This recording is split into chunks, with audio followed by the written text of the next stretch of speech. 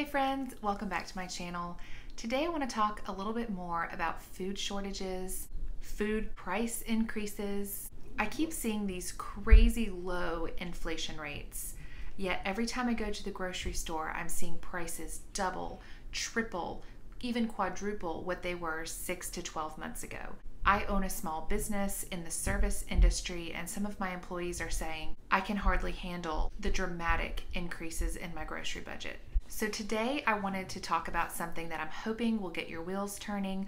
Grab a piece of paper and your favorite pen, and let's jump into the topic of growing your own food, growing a year's worth of food, whether you are on a big sprawling piece of land or in a little high rise apartment. I want to start off by reminding you to reach out to your local farmers, reach out to your local homesteaders who maybe are producing more than their family has room to store up, and find your local growers, whether that is for raw dairy, meat, eggs, or produce. There is a good chance there are local producers near you that you can support and in turn get fresh local produce and you're not having to depend as heavily on the grocery store two things I've been trying to focus on as we have been building up our food storage, particularly in light of the news media and all over the internet reports of a global food crisis and food shortages on the horizon. So, something that we've been trying to keep in mind is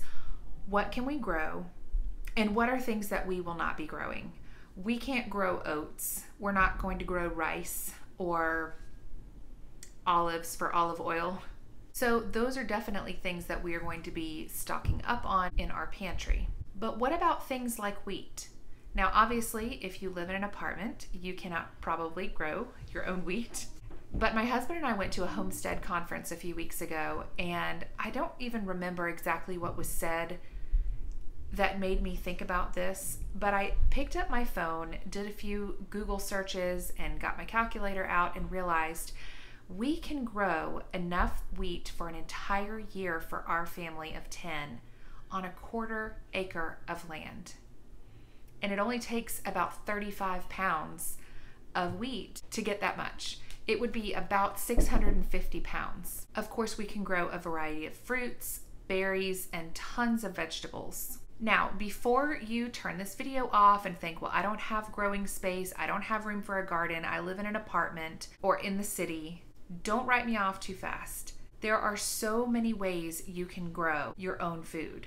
There are community garden spaces in cities and in large neighborhoods, and you can grow so many things in containers, whether that be a five gallon bucket, an old used flower pot. I've even seen people take a large bag of soil, lay it flat on their porch or their back deck, cut a giant rectangle in the top of the bag, and plant directly in that. That's brilliant. You know how much lettuce and spinach and kale you could grow on that kind of surface? We have four plastic urns on our front porch that I picked up at Lowe's a few years ago for about $12 a piece. I'm sure they're a little bit more now, but we grow all of our salad greens on the porch in these four plastic urns, whether it be a variety of lettuce, spinach, kale, Four urns seemed to be the perfect sweet spot for our family. We have at least one main dish salad per week, and as long as I leave just the inner leaves of each plant, then within another week, they've all grown back enough to have a whole nother big salad for our size family. Now, when I say main dish salad, I mean the salad is our dinner, like a big taco salad or a big grilled chicken Caesar salad. The flowers you see here are from a Tom Thumb variety of lettuce that I got from Baker Creek. This lettuce lasted all winter and has now gone to seed, and I let it go to seed because it clearly is a very winter hardy lettuce that I want to grow every winter from here on out. So I let it go to flower, and I'm going to collect the seed and make sure I save that for next year.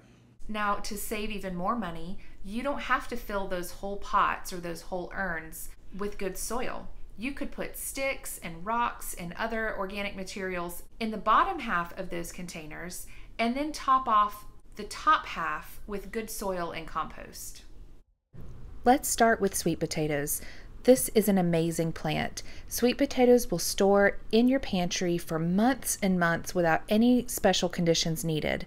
These sweet potatoes, most of them in my garden this year, I started from slips that I grew on my kitchen windowsill from sweet potatoes that were left over from the grocery store from Thanksgiving of 2021 that's pretty incredible. And we live in the South where it's warm and humid, and these sweet potatoes are actually still going strong on my windowsill right now. So each one of these plants that I put in the ground will produce approximately four sweet potatoes each. This is going to be a lot of sweet potatoes for my family, and I look forward to storing them in the pantry for as long as possible. And I look forward to updating you on how many we end up harvesting and how long they store and how, all the different ways that we use them. So I would highly suggest if you have room planting sweet potatoes. As these vine out, Sweet potato vines don't actually climb on their own, but I put them against the fence on purpose this year so that I can weave them in and out of this uh, garden fencing and I will help them go up and over the garden fence and not take up valuable floor space within the garden area. Sweet potatoes take between 90 and 120 days before they're ready for harvest. I had a goal last year of growing a year's worth of bulb onions. It seemed like a pretty easy task, and onion sets from places like Tractor Supply are super cheap. You can buy a bag of 80 onion sets for about $3, and I was pretty successful last year, but a lot of my bulbs were pretty small. So I just diced up the small ones, put them in the dehydrator, and ground them up for onion powder. My family typically goes through three to five bulb onions a week year round, so I'm looking forward to seeing how successful this year's harvest is compared to last. Bulb onions take anywhere from 100 to 120 days before they are ready for harvest. You'll know they're ready when their tops fall over. Tomato products are definitely second in line for what my family goes through the most with regards to fresh produce and pantry items. We use a lot of marinara sauce, crushed tomatoes, salsa, barbecue sauce, ketchup. We're going to try all of those things this year. I'm hoping for a record breaking year with our tomatoes. I planted around 80 plants, and I would say about 70 of those are Roma varieties that are the best for canning and storage. You can typically start harvesting tomatoes 60 to 80 days after they've been planted, depending on the variety. If you have the space to grow potatoes, I would highly recommend it. They can be grown in raised beds, five gallon buckets, old flower pots. In ideal growing conditions, one chunk of seed potato can produce five to 10 pounds of potatoes. Living in the South and not having a root cellar, I primarily pressure can our potatoes. Some of them I'll blanch and freeze, but most of them I pressure can. This year I do intend to experiment a bit and I'm going to use a Rubbermaid tote lined with sawdust and I'm going to put layers and layers of sawdust and potatoes that have been cured in the pantry or maybe even in the closet in my master bedroom to see how long they will last in dry, cool storage. Potatoes take between 90 and 120 days before they're ready for harvest, but you can always dig up a few at a time when you need them for supper. This year, we decided to put up a large trellis for our peas and our pole beans. I've got one growing up one side and the other growing up the other side, and I'm hoping for a big harvest. Last year was the final year I will ever plant bush beans, as far as I can tell, because I just don't end up harvesting them. It's not convenient or fun to get down on your hands and knees and pick all of those bush beans when the, the plants get big and it's hot and the pest pressure is intense. Pole beans will produce up to six or seven pounds per plant, and they're ready for harvest in less than 65 days. You can succession plant beans and peas and have them growing almost year round. Now, peas do not like the intense heat, so I probably won't get a whole lot of harvest before they bolt and die off, and in that case, I will then plant more pole beans. I love planting squash and zucchini. They are such hardy producers and they're always one of the first vegetables ready for harvest in the garden. Now, this year I planted a whole lot more winter squash than I ever have before with the intention of putting them up and storing them as supplemental feed for our chickens and pigs in the fall. That includes butternut squash, acorn squash, and spaghetti squash. Of course, I'm also growing the traditional yellow squash and zucchini for summer eating. But I currently have one last spaghetti squash in my pantry that I harvested last July. This year, I planted a 30 foot row of ground cherries. Let me know in the comments below if you've heard of ground cherries or ever eaten them. I think sometimes they're called golden berries if you buy them at the store.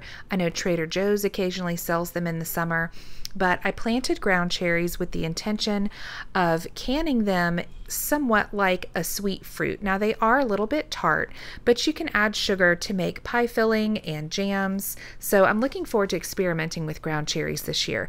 Each plant can produce up to 300 ground cherries, and they take about 70 days to harvest, but they continue to produce all the way up until your first frost.